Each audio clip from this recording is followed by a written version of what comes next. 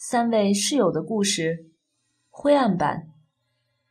阿尼尔、麦克和维基都是二十多岁的年轻人，一起合租了市中心的一间公寓。这栋楼房是七十年代建的，有种特殊的魅力，但是漏风并且很冷。房东改进了部分设施，比如新装了蓄热供暖器，但做的也都只是政府提供了奖励的事情。房东最近一次的改进是在所有他出租的公寓里都安装了感应控制灯。麦克觉得这样挺好。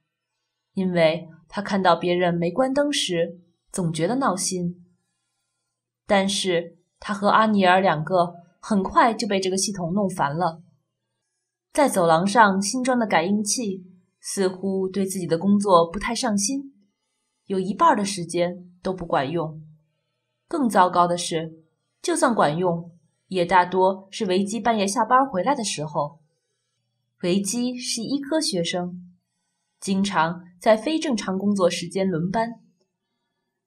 他之前一直很为室友着想，夜归的时候轻手轻脚，只有在必要时才会开灯。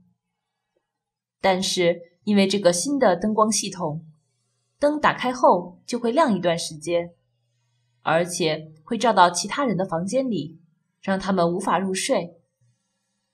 没过多久。麦克拆下了走廊里所有的电灯泡，现在他们就靠在黑暗里摸索，勉强对付，只用各自房间里的灯。基于这个新系统，也许能为他们省钱。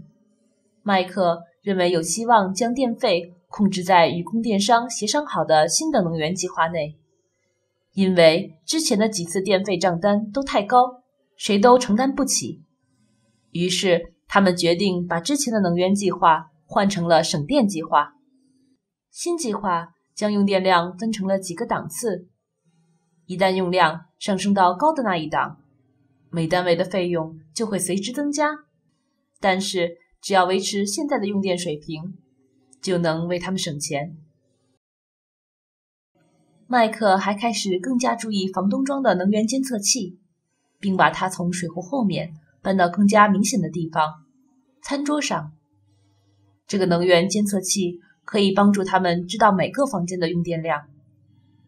麦克一直在检查用电量，但是在一个阴雨绵绵的周四下午，他回家后却吃惊地发现显示器发出红光，这预示着这个月的限额就要用光了。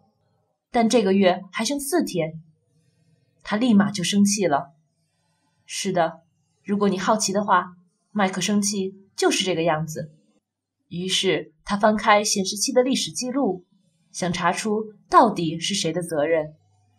不难看出是维基。他卧室的用电量几乎是麦克和阿尼尔每个人用的两倍。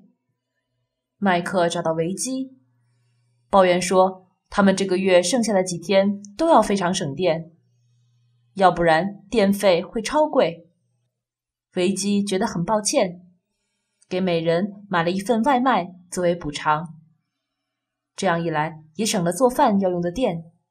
接下来的四天，他特别小心，但就算把暖气关了，仍然超支，收到的电费账单数额很高。阿尼尔和麦克生气了好几天。维基决定调查电费高的原因。下载了和能源显示器配套的手机应用程序，很快就发现，即使关掉自己房里所有的电器，似乎也对公寓里的能源使用没有什么影响。维基以为这个应用程序也许不管用，但和其他两个人一起研究，才发现能源显示器上的房间被标错了，用电大的不是维基的房间，而是麦克的。麦克在写博士论文，在家工作的时间越来越多，白天用电很多，把大部分的能源预算都用掉了。麦克虽然道了歉，但是彼此间还是争吵不断。